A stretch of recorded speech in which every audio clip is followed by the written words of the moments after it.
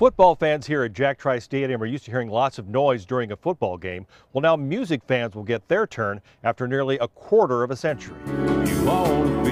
Country music icon George Strait is coming back to Ames. He was the last performer to sing at a big concert in Jack Trice Stadium. That was back in 1999.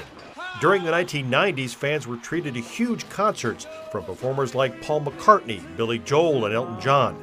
Since then, no one has filled the beloved football venue with music fans at Iowa State are ready. I think it's really exciting for me. I'm a big country fan, so it's kind of exciting that you know George Strait, really big name there. But uh, I think it's really good for the city. I think it's really good for the, uh, the university. Chris Stapleton will join Strait on the 2024 nationwide stadium tour. I think it'll be awesome. The Chris Jorgensen is ISU's Senior Associate Athletics Director. He says the university wants to have more spring concerts in the future.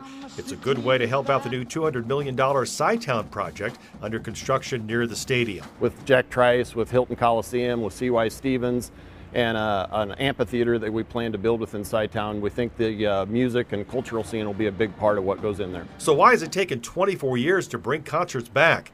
There are two reasons. One, the stadium is only available for concerts in the spring.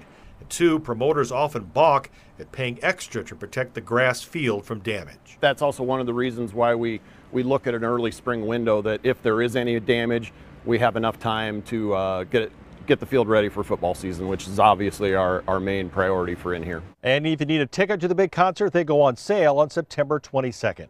It Ames Todd Magel, KCCI 8 News, Iowa's news leader.